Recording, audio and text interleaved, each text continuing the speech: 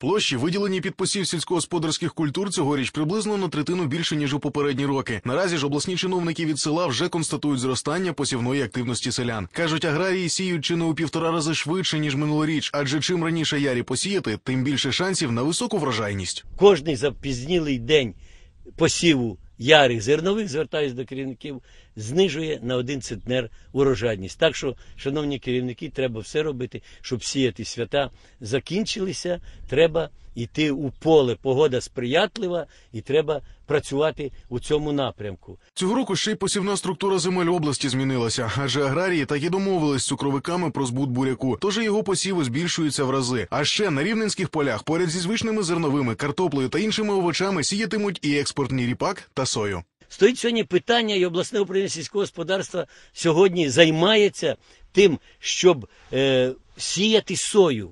Показують, проводять наради, семінари, якраз що це таке. Ще сім років назад, працюючи, ми в Острозькому районі одержували по 25-30 центнерів сої. Мета це одержати урожай, одержати економіку від агропромислового комплексу Загалом аграрні чиновники на цьогорічні врожаї покладають неабиякі надії, адже за прогнозами міжнародних експертів, восени на світових ринках очікується значний попит на зернові культури та ріпак.